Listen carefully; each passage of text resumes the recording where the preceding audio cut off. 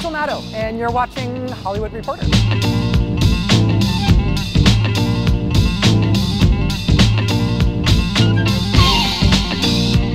When my younger dog started leaving the sidewalk to delicately pee in the gutter instead of peeing anywhere like my older dog does.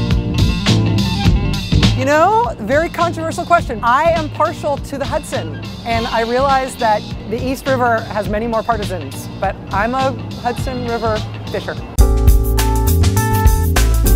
Two days ago from Joe's, we got good ratings, and one of my former producers sent us pizza as a congratulations. It was really nice.